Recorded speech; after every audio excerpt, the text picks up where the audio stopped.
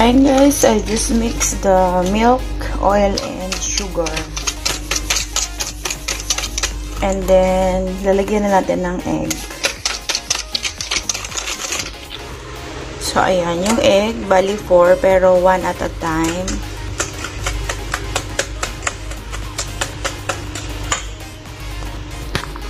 Ayan, bali 4 eggs na.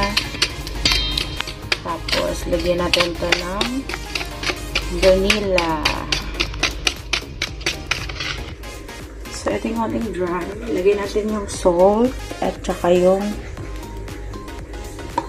baking soda. Tapos, mix lang natin siya.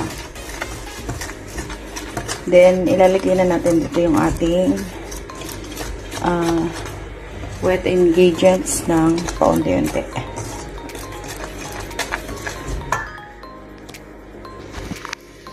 Yan, lagyan na natin.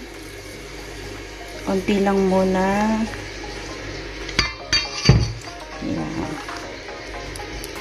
Tapos, mamaya ulit yung iba. Hasta ma-mix natin siya ng ayos. So, ayan. Magiging ganyan na siya pag na-mix. Doon, ilalagay na natin yung ating mga carrots. Ayan, nilagay ko na yung carrots and then yung ating mga fruits. So, mix na natin siya. Then, lagyan na natin sa lalagyan. So, ayan na po. Then, ililipat na natin siya sa pag-bake natin. Pag-bake can.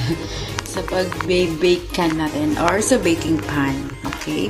Pero ngayon, lalagay ko lang siya sa parang uh, cup paper.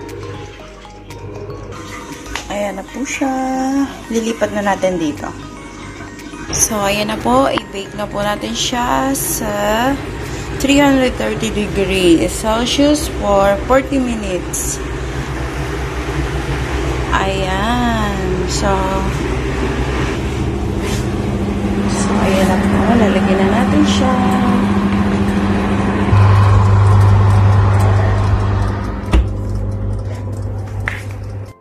Ayan na guys. Ito na yung finished product ng carrot cake.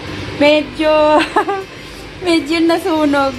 Pero hindi naman siya. Parang medyo toasted something. Ayan po.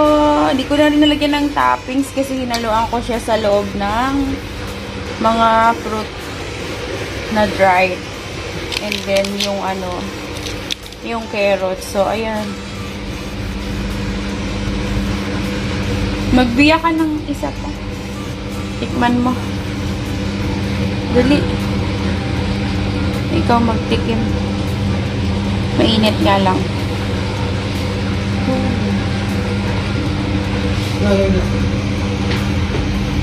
Mag-open ka ng isa. Oo, mainit. Mainit nga. So, yan. Wow! Ayan siya. Perfect! Perfect gift. Yes! Sabi ko sa'yo, mainit. Ayaw mo kasi makinig. So, ayan. Nakapaso siya. Ito yung... Wow! Patikin nga. Mmm, sarap. Para siyang bread. Ayan. Carrot cake. Thank for watching. So, ayan po. Nag-open tayo ng one. Tapos, meron siyang maraming fruits sa loob. Ayan po yung ating carrot cake. Ayan, guys. Thank you, guys, for watching. God bless po. Ayan. So, our first time carrot cake. Kaso, nilagay ko lang siya parang cup, cupcake something. Hindi talaga siya cake. So, next time, bilog naman na malaki yung gagawin ko. So, ayan guys. Thank you po ulit.